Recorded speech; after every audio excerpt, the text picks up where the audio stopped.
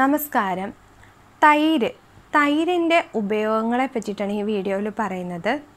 തൈരും മോരും തമ്മിലുള്ള വ്യത്യാസം എന്താണെന്നും ഇതിൽ എന്തെല്ലാം ഘടകങ്ങൾ അടങ്ങിയിട്ടുണ്ട് എന്തെല്ലാം രോഗങ്ങളിൽ ഇത് വളരെ ആശ്വാസം ലഭിക്കും ആരൊക്കെ ഇത് കഴിച്ചുകൂടാ അല്ലെങ്കിൽ എപ്പോഴൊക്കെ ഇത് കഴിച്ചുകൂടാ ഇത് തെറ്റായിട്ട് കഴിച്ചാൽ എന്തെല്ലാം പ്രശ്നങ്ങൾ ഉണ്ടാവും ഇതൊക്കെയാണ് ഈ ഒരു വീഡിയോയിൽ പറയുന്നത്.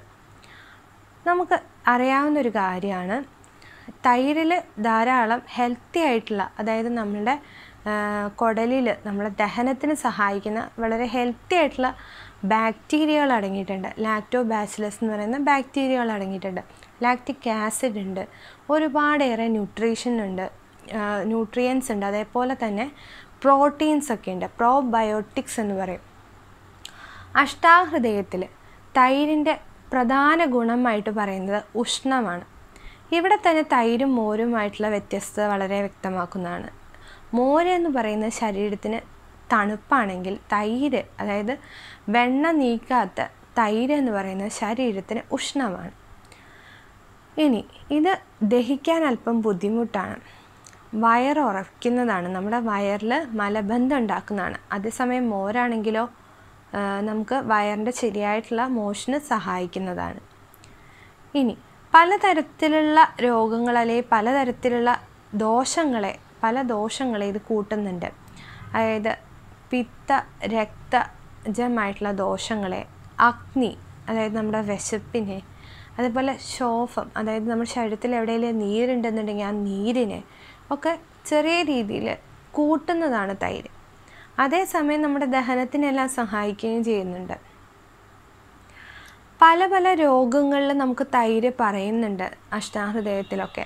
അതായത് പ്രത്യേകിച്ച് പറയുകയാണെങ്കിൽ ചില തരത്തിലുള്ള തുമ്മലുകളിൽ അതേപോലെ ചില തരം പനികളിൽ വിഷമജ്വരം എന്ന് പറയും. അതായത് ഇടയ്ക്കിടയ്ക്ക് വിട്ട് വിട്ട് വരുന്ന പനികളിൽ.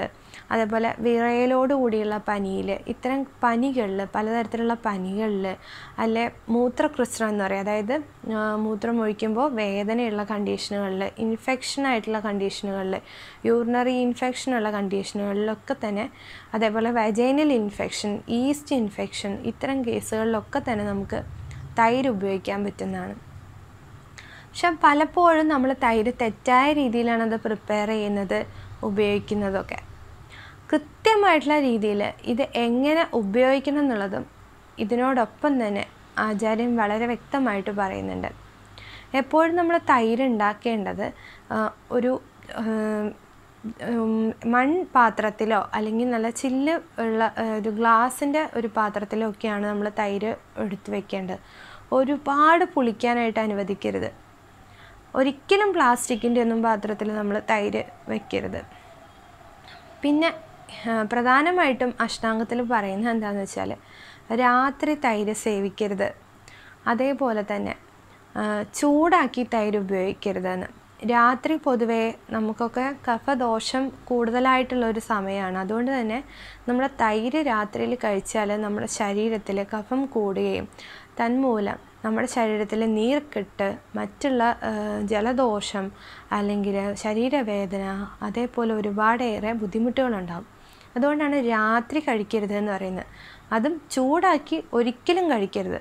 പലപ്പോഴും നമ്മൾ തൈര് ചൂടാക്കിയിട്ടാണ് പല കറികളിലും ഒടിക്കുക. അത് തീർച്ചയായിട്ടും തെറ്റായുള്ളൊരു കാര്യമാണ്.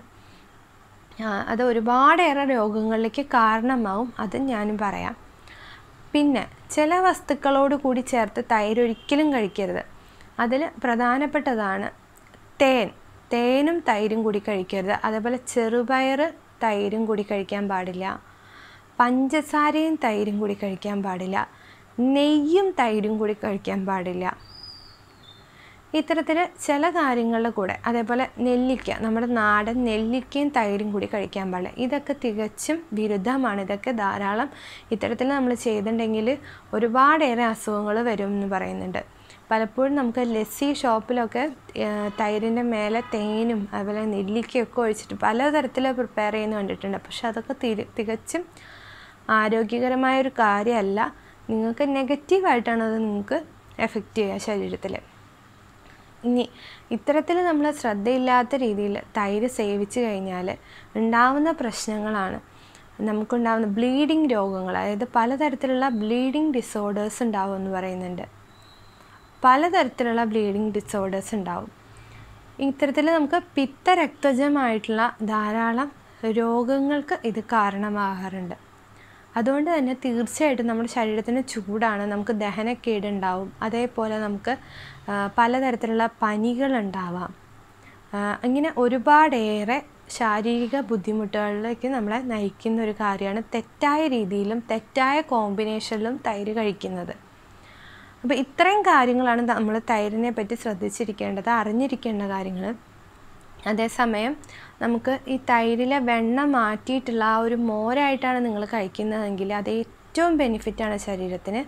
നമ്മുടെ ഡൈജഷൻ കൂട്ടാനും പലപ്പോഴും ഇറിറ്റബിൾ ബവൽ സിൻഡ്രം എന്ന് പറയുന്ന ഡിസീസ് ഉണ്ട്. അതായത് നമുക്ക് ഭക്ഷണം കഴിച്ച് ഉടനെ ബാത്റൂമിൽ പോകണമെന്ന് തോന്നുന്ന അസുഖം. അത്തരത്തിലുള്ള ബുദ്ധിമുട്ടുകളിലൊക്കെ ഈ തൈരിൽ നിന്ന് വെണ്ണ നീക്കിയിട്ടുള്ള ആ ഒരു മോര് വളരെയധികം എഫക്റ്റീവായിട്ട് പറയുന്നുണ്ട്. അപ്പോൾ ഇത്രയും കാര്യങ്ങളാണ് പലപ്പോഴും നമ്മൾ മനസ്സിലാക്കേണ്ടത്. തൈര് ഒരിക്കലും ചൂടുള്ള കാലത്തിൽ അതായത് ഉഷ്ണകാലത്തിൽ നമ്മൾ തൈര് കഴിച്ചു കൂടാ. പകരം മോര് വേണമെങ്കിൽ കഴിക്കാം. രാത്രി കഴിക്കരുത്. ഇത്രയും കാര്യങ്ങളൊക്കെ നിങ്ങൾ എന്തായാലും ശ്രദ്ധിക്കണം. ഇത്രയും കാര്യമാണ് എനിക്ക് തൈരിനെ പറ്റി പറയാനുള്ളത്. എല്ലാവർക്കും ഈ വീഡിയോ ഉപകാരമായെന്ന് ഞാൻ വിചാരിക്കുകയാണ് അപ്പോൾ വീണ്ടും മറ്റൊരു പുതിയ വീഡിയോ ആയിട്ടും പുതിയ ടോപ്പിക്കുമായിട്ടും വരാം. അതുവരയ്ക്കും എല്ലാവർക്കും നന്ദി.